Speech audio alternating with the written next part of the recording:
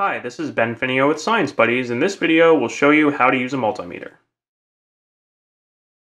Multimeters come in all shapes and sizes. While professional multimeters can cost hundreds of dollars, if you're a student doing a science project or a hobbyist just tinkering with electronics, a cheaper multimeter somewhere in the 20 to $30 range is probably all you need. Most multimeters have similar features including a screen that displays the readings, a knob that selects the measurement, and ports where you plug in the probes to take the measurement. In this video, we'll be using this DT830L digital multimeter, which is included in many of our Science Buddies kits. We'll go over how to measure voltage, current, resistance, and do a continuity check. Some of the most common features you'll use on a multimeter. Other multimeters might have more advanced features like the ability to measure capacitance, but we won't be going over those in this video. Most multimeters come with a pair of red and black probes with a plug on one end to go into the multimeter and a pointy probe tip on the other end that you can use to probe circuits. It's convenient to have some alligator clip cables handy as those can allow you to clip onto the circuit to take measurements so your hands can be free to do other things. There are different types of probe accessories available. For example, these probes have a banana plug on one end to go into the multimeter and an alligator clip directly on the other end instead of a probe tip so you don't need a separate alligator clip cable. Let's start by looking at our multimeter in a little more detail. There are a lot of symbols on the front that might be kind of overwhelming and confusing at first, but don't worry, we'll go over them one by one as we use them. The main symbols you'll be seeing in this video are V for volts, A for amperes, which is the unit of current, and the capital Greek letter omega, which stands for ohms, or the unit of resistance. This multimeter has a separate on-off switch that you use to turn the multimeter on and off. More expensive multimeters usually have an auto power off feature that will turn it off automatically after a certain period of inactivity, but this one doesn't, so make sure you remember to turn it off when you're not using it in order to conserve the battery. Now let's look at the ports where we can plug the probes into the multimeter. You'll see that we have three different ports labeled COM, V omega MA, and 10A. COM stands for common, that's where the black probe is going to be plugged in, and we'll usually connect that to the ground or negative side of our circuit. V omega MA stands for volts, ohms, or milliamps. We plug the red probe into this port for most of the measurements we're going to be taking to measure voltage, resistance, or small amounts of current. And then finally, this third one we're not going to use as often. That's for measuring large amounts of current up to about 10 amps. So for now, we're going to plug the red probe into this V omega MA port. Now let's start with the relatively simple case of measuring the voltage of a battery. I'm going to set the dial on my multimeter up here somewhere in the V range. I'm not going to worry about the exact number yet. Turn the multimeter on, and again I have the black probe plugged into the COM port and the red probe plugged into the V omega milliamp port. I have two batteries here, a double A and a 9 volt, and I'm going to start out with the double A. I'm going to take oops, the black probe and touch it to the negative side of the battery, and the red probe and touch it to the positive side of the battery. And you can see I'm getting a reading of 001 on the screen. And that's not a very accurate reading. I'm not getting any decimal places, and you'll see that I have my knob set all the way up here to 1000 volts, which, if you know anything about batteries, is much, much higher than we expect to get from a AA battery. We would expect this to be about 1.5 volts. So fancier multimeters will have an auto ranging feature where they will automatically select, the measurement range for you. This multimeter isn't going to do that for you. You need to manually select the range that is the best for what you want to measure. So what I'm going to go do, do is go down a step to 200 volts and try again. And now I'm getting 1.5 volts, which is about what I expect, but 200 volts is still a lot bigger than what I need to measure. So I'm going to keep stepping down to the 20 volt range. And notice that when I do that, I get an extra decimal place. The decimal point moved over one. So now if I measure, I get 1.6 volts, 1.60. So my reading is getting more accurate because I got an extra decimal place. This voltage is actually small enough that I can keep going down. Now notice that the label here changed. Now I'm in the 2000 M range, which stands for 2000 millivolts.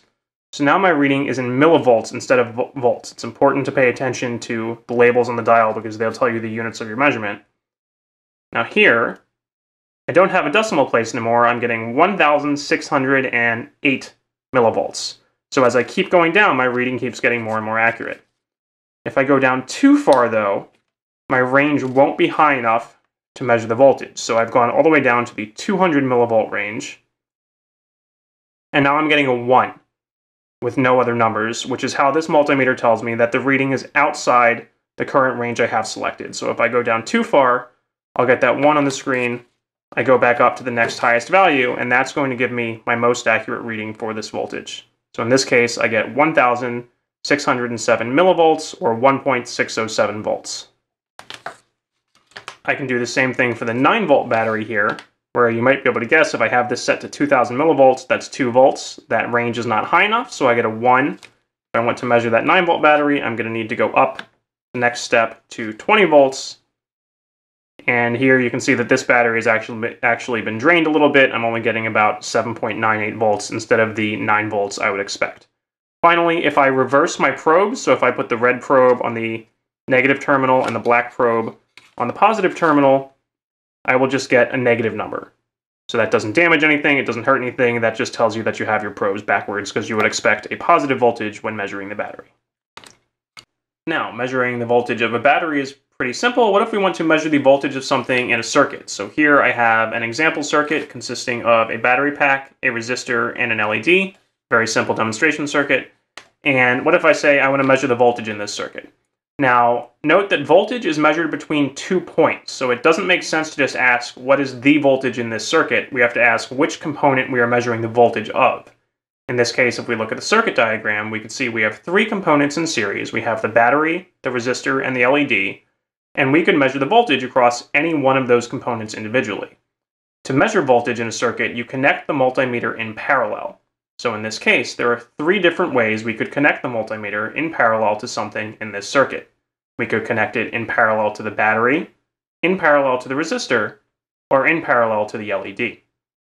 When taking measurements on a breadboard, this is where alligator clips and jumper wires can come in handy because you can just put the jumper wires into the breadboard and then your hands will be free to do other things. If you don't understand how a breadboard works or you've never used one before, we highly recommend you check out, check out our breadboard tutorial video, which will tell you everything you need to know about breadboards. But for now, we're going to assume you know how they work. So first I'm going to connect my two wires in parallel to the battery, putting them into the power buses here. You'll see I get a reading of 2.83 volts.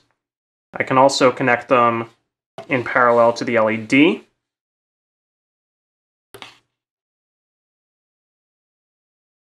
I get a smaller reading of 2.2, roughly about 2.3 volts. And finally, I can connect them in parallel to the resistor.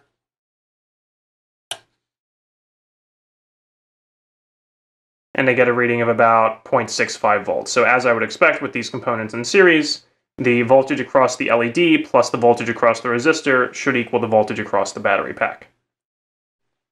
Now, what if I want to measure the current through this circuit? This gets a little more complicated. To measure the current through a part of a circuit, you need to put the multimeter in series with that part of the circuit.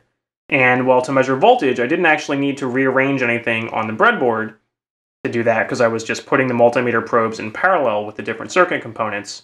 To put the multimeter in series, I'm actually going to need to rearrange things on the breadboard a bit. So if I look at the circuit diagram, I only have one loop in my circuit here, so the current I measure is going to be the same regardless of where I put the multimeter. I could put it in between the battery and the resistor, in between the resistor and the LED, or in between the LED and the battery. The current will be the same in any case. But when I go do that on the breadboard here, I'm going to need to move one of the parts. So for example, I'm going to move the resistor lead over one hole here, and then get ready to put my multimeter probes in series with the resistor and the LED. But before I do that, I want to be careful. Let's go back and look at the ports for the probes on our multimeter again and the settings for current. Remember we have this extra port for 10 amps. And if you don't know how much current you're going to measure, it's always safer to start with that 10 amp setting because that will allow you to measure a much higher current without damaging your multimeter's fuse. So if you know about LEDs, you might know, oh, that's probably only a couple tens of milliamps. You should probably be safe.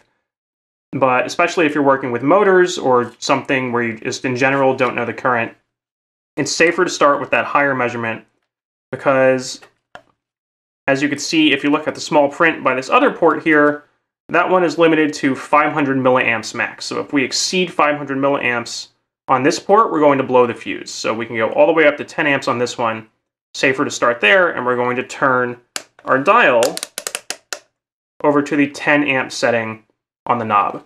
So now I should be able to put my multimeter in series. You notice that the LED has gone out because I broke the circuit by moving that resistor. I put the multimeter in series here, the LED goes back on, but I'm getting a pretty inaccurate reading again. 0.01, I don't know what the decimal points are beyond that, so I should be safe now to move down to the port with the lower current range that's going to be more accurate. So I'm going to switch back down to here, lower myself to the 200 milliamp setting, and you can see now I'm getting a more accurate reading of 13.7, 13.8 milliamps.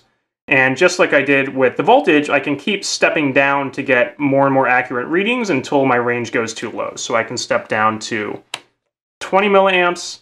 Now I'm getting an extra decimal place, about 12.21, all the way down to 2000 milliamps, and now I've gone too low. Okay, so if I go back up to about 20 milliamps, that's going to be the most accurate reading I can get for this circuit with two decimal places. Now, when you are done measuring current, it is always a good idea to set your multimeter dial back to measuring voltage. And that's because it is much easier to accidentally blow the fuse when you have the multimeter set to measure current. For example, if you wanted to measure the voltage of a battery like we did earlier, and you connected the probes directly to the battery with no resistance in series to limit the current, while you have it set to measure current, you will easily blow the fuse because you're going to get a lot more than 500 milliamps directly out of the battery. So again, when you're done measuring current, set it back to voltage just to be safe the next time you pick up the multimeter.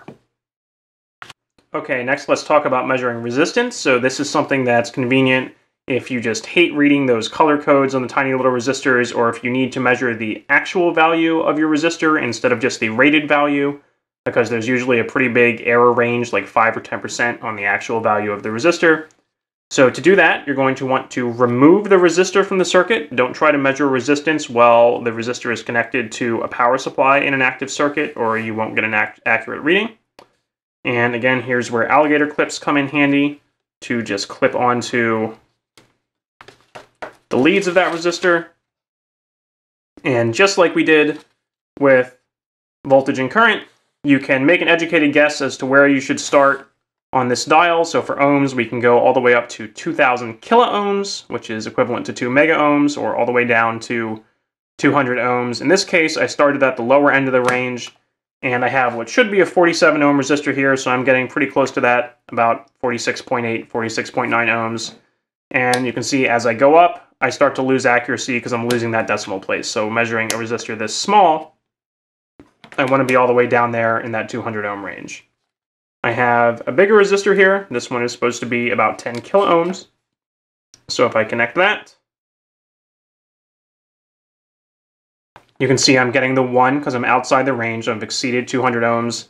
And as I start going up, eventually I should get in the proper range for this resistor. So you can see again, there's that error percentage. This is actually about 10.3 ohms, not exactly, sorry, 10.3 kilo ohms, not exactly 10 kilo ohms. So it can be important, depending on what you're doing, to measure the actual value of your resistors. Now, with cheaper multimeters, you're not going to get very accurate readings for very small resistances. So if you're trying to measure something just like a wire, this is usually probably down around 1 ohm or even less than that. Don't trust those readings too much. You can see I can't connect to this wire and go down to my smallest range, and I get something like 1.0 ohms, but really below an ohm, you're reading is not going to be very accurate with a cheap multimeter. So make sure use this to measure actual resistors, but not just pieces of conductive metal or wires. The final feature we're going to go over is the continuity check. So that's this little symbol here with kind of those little curvy lines and the arrow symbol, which represents a diode, if you know what a diode is. And this one is a really convenient feature that just beeps if two things are electrically connected. So if I touch my probes together directly, it beeps at me because there's a complete conductive path for the circuit or the current to flow through the circuit there. This is a really convenient feature to check if two things are connected like they're supposed to be in your circuit, or for example, to check if a cable is good. So for example, let's take my circuit here, put my resistor back in, and say I, I don't know if maybe I, I have something wired improperly. I want to make sure that there's a conductive path between this leg of my LED and this wire on the battery. So that's telling me that there is a path between this part of the LED and there. So say I had this wired improperly, say I had the resistor in the wrong hole, and my LED is not lighting up, then I can test both sides of my LED. I can test here and say, okay, I, I know I have conductivity on this side, those are connected because I'm getting a beep, but if I test on this side, there should be a connection between the LED and the resistor, but I'm not getting a beep there, then if I look more closely, I could realize, oh, I have that wired improperly. I don't have conductivity between this leg of the LED and this leg of the resistor. Similarly, say you have an experiment with a bunch of wires or cables and you're not sure if maybe you kinked a cable or broke something or if you have a cable that's going bad. If I take this alligator clip and touch the probes to both ends of the alligator clip, I'll get a beep letting me know that my cable is good. If I didn't get a beep, then I'd know that this cable is probably bad. So again, a con convenient feature that you can use to test for conductivity in circuits, or test if a material is conductive. For example, if I touch these two probes to a piece of metal, say like the outside surface of this battery, I know that's conductive, but if I touch it to the paper on my work surface here, that's not conductive because paper does not conduct electricity. So also a convenient check to test if a material is conductive or not. Again, there are some more advanced features on this and other multimeters that we didn't go over in this video. You might have noticed this NPN and PNP thing down here, that's for measuring transistors. There's a V with a squiggly line next to it for measuring alternating current instead of direct current. You can measure the voltage from a wall outlet. We don't recommend doing that if you're new to electronics because wall outlets are actually dangerous and you can hurt yourself if you don't know what you're doing, whereas the electricity from batteries and little battery powered circuits like this is generally pretty harmless, so this is much safer if you're starting out. We're not going to go over those in this video, but if you have any more questions about anything you saw in the video in more detail, we recommend you check out our written tutorial. There was a link to that at the end of the video, and have fun using your multimeter in your project.